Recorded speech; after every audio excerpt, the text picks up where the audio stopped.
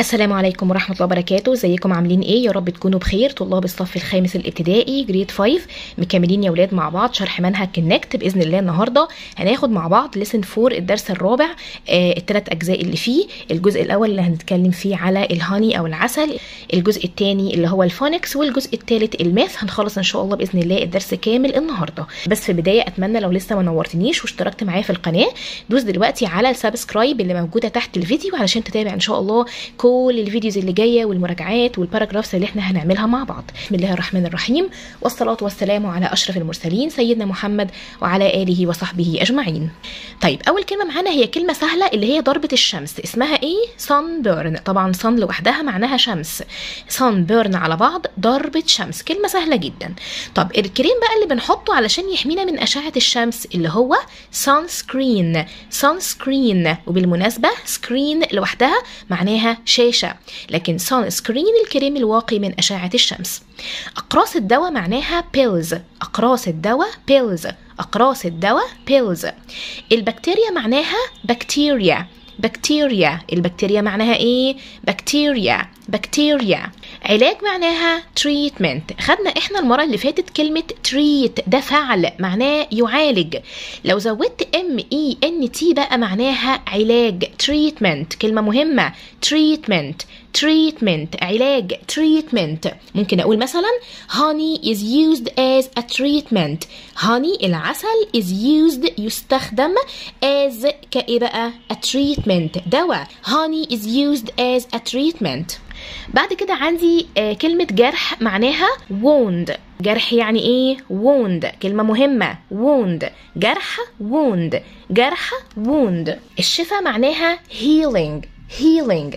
بصوا يا ولاد لو شلنا ال ing ده فعل اللي هو heal معناها إيه؟ يشفى أو يلتئم. وهناخدها دلوقتي في الأفعال. يبقى heal يشفى healing شفى. heal يشفى healing شفى. heal يشفى healing شفى. طيب الكلمة دي اسمها إصابة. معناها إيه؟ injury. injury. الجي هنا هننطقها إزاي؟ ج ج. injury. Injury إصابة. والجمع بتاعها injuries. هنكنسل ال y وهنستبدلها ب i ونحط ال es بتاعة الجمع. injury injuries. injury injuries. إصابة إصابات. injury injuries. الأربع كلمات دول مهمين جدا. treatment علاج. wound جرح. healing الشفاء injury إصابة.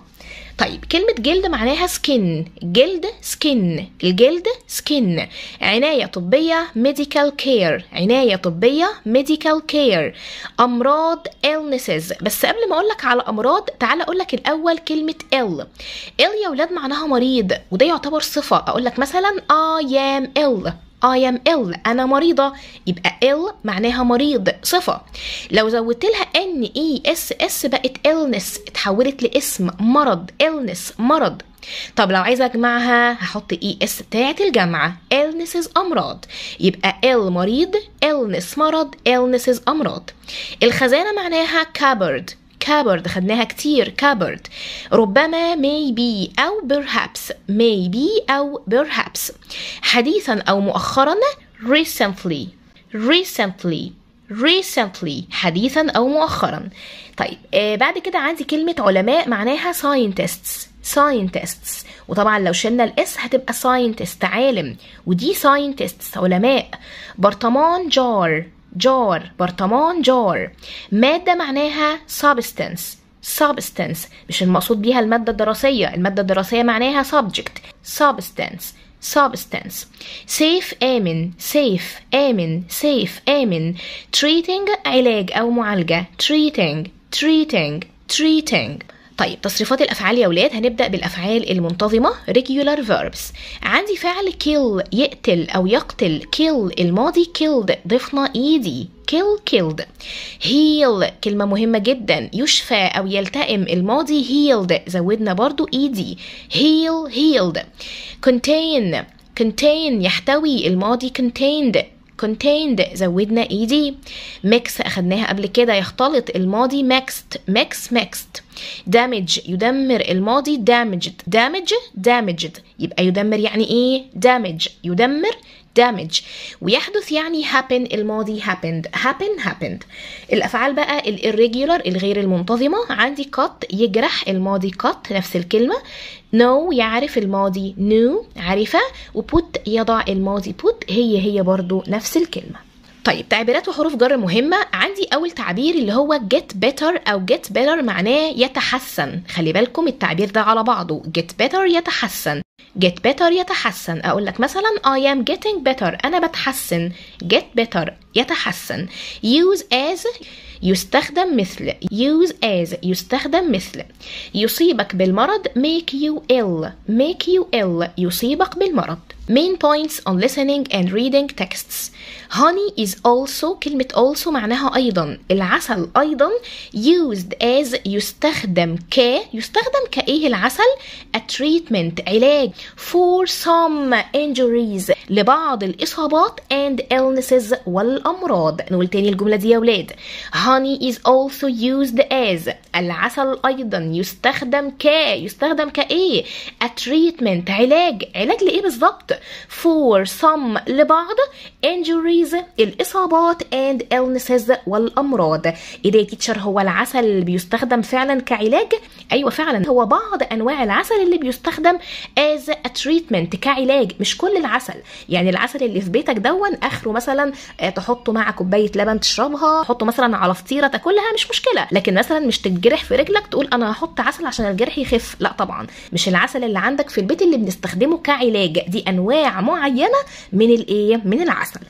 طيب بيقول لي هنا doctors have used honey يعني الأطباء have used استخدموا الجملة دي يا ولاد في زمن المضارع التام. present perfect. الأطباء استخدموا honey العسل for thousands of years لآلاف السنين. some types of honey بعض أنواع العسل زي ما قلت لك مش كلها. Some types of honey بعض أنواع العسل. can kill ممكن تقتل بكتيريا أو البكتيريا. Do you like honey؟ هل بتحب العسل؟ دو في أول السؤال يا ولاد معناها هل. هل أنت بتحب العسل؟ Perhaps ربما. You enjoy. أنت بتستمتع. Eating it بأكله. For breakfast على الفطار. Or maybe أو ربما you enjoy it بتستمتع بيه in a sweet بسبوسة. في البسبوسة الحلوة.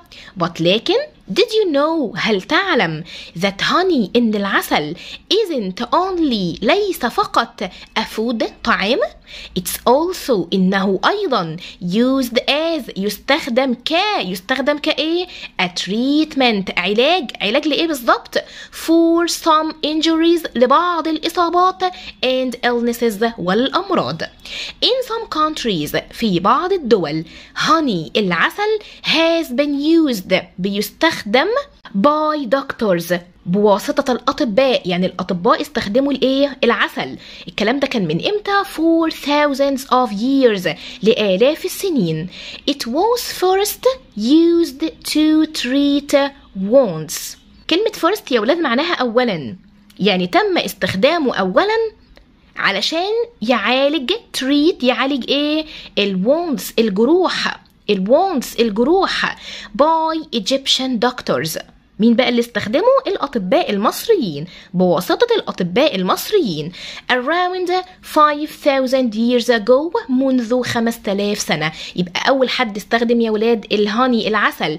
As a treatment كعلاج كانوا مين؟ ال Egyptian doctors الأطباء المصريين. Recently وحديثا scientists العلماء have tried حاولوا. جملة في زمن المضارع التام. حاولوا إيه to find out كلمة find out معناها يكتشف ان هم يكتشفوا exactly بالظبط why لماذا honey العسل is so good for good for جيد ليه جيد لإيه healing wounds شفاء الجروح and treating illnesses وعلاج الأمراض. يبقى دلوقتي يا ولاد في الوقت الحالي العلماء بيحاولوا إن هم يكتشفوا find out ليه العسل good for جيد ليه healing wounds علاج الجروح and treating illnesses علاج الأمراض. تعالوا بقى نشوف الساينتستس العلماء اكتشفوا إيه.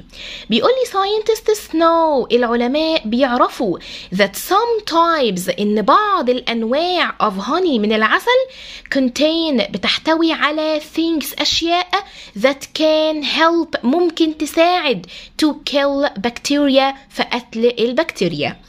This helps wounds وده بيساعد الجروح to heal إن هي تشفى more quickly بسرعة أكتر. You must be careful must يا ولاد معناها يجب وخلي بالكم ان must بيجي وراها مصدر you must be careful however ومع ذلك يجب إن أنت تكون حذر. كلمة must يا ولاد معناها يجب وبيجي وراها المصدر. يجب إن أنت تكون حذر. ليه بقى؟ لأن إحنا قلنا مش كل أنواع العسل اللي بتستخدم كعلاج. فبيقول لك the honey العسل. The doctors use اللي الأطباء بتستخدمه. is a special honey. هو عسل مميز أو عسل خاص.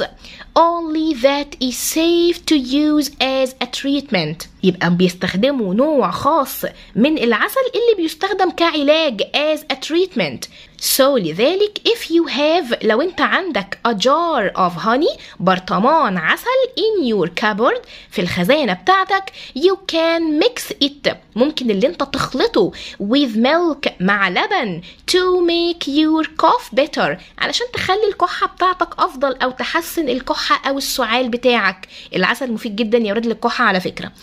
But don't put it on your cut knee يبقى ما تحطوش على ركبتك المجروحة.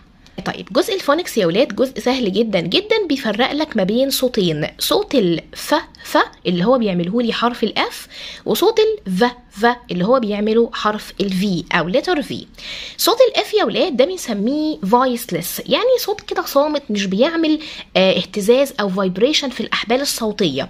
يعني مثلا ف ف frog لو حطيت كده إيدك على الحنجرة بتاعتك مش هتلاقي إن الحنجرة بتهتز.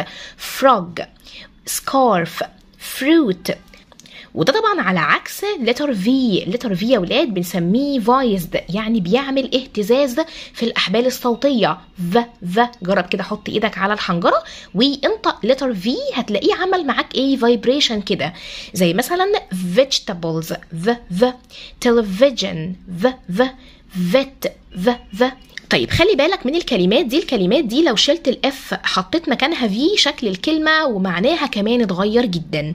fan مروحة لكن فان شاحنة صغيرة. leaf ورقة شجر إنما leave يترك أو يغادر وده فعل. ferry عبارة نهرية لكن very جدا. few قليل لكن view منظر. safe آمن إنما save يحفظ أو يدخر. life حياة إنما live يعيش. آخر جزء معانا يا ولاد في الدرس بتاعنا هو التمثيل بالرسم البياني bar chart. التمثيل بالرسم البياني بنستخدمه علشان نحاول نبسط الأرقام والإحصائيات بطريقة سهلة جدا بحيث أول ما نبص في ال bar chart دي أعرف على طول الإحصاءات أو الأرقام بتاعة الرسمة اللي قدامي. يعني مثلا الرسمة دي عندك فيها دجاج وعندك فيها بط وعندك فيها مش عارف إيه عندك فيها شوية حيوانات كده. فأنت بدل ما تقعد تعد وتقول والله الدجاج عندي عندي منه ثلاثة ومش عارف إيه عندي منه أربعة ومش عارف إيه عندي منه خمسة. انت بمجرد ما بتبص على ال bar chart بتاعتك دي فانت بتعرف الإحصائيات أو الأرقام اللي موجودة في الرسمة دي. طبعا بيبقى هنا يا ولاد في المحور الأفقي اللي إحنا بنسميه the horizontal axis واللي بنحط فيه الحاجات اللي موجودة عندي في الصورة وده اسمه المحور الرأسي the vertical axis وده اللي بنكتب بقى فيه الإيه؟ ال numbers أو الأرقام بتاعة الإيه؟ الطيور. فأنت بتشوف مثلا الدجاج في منه ثلاثة فبتلون بس ثلاثة مثلا البط ده خمسة بتلون عنده خمسة وهكذا. وطبعا فوق يا ولاد بنكتب ال title بتاع ال bar chart بتاعتي. هنا مثلا كتبت birds on the farm الطيور في الإيه؟ المزرعة. آه بكده هنكون خلصنا الفيديو بتاع النهارده. أتمنى تكونوا استفدتوا منه. يا ريت لو عجبنا الفيديو ما ننساش نشترك في القناة علشان نتابع إن شاء الله كل ال videos اللي جاية. ولو عجبك الفيديو ما تنساش تدوس على زرار ال like دعم منك للمحتوى التعليمي اللي بقدمه. أشوفكم على خير في فيديو جديد وسلام عليكم.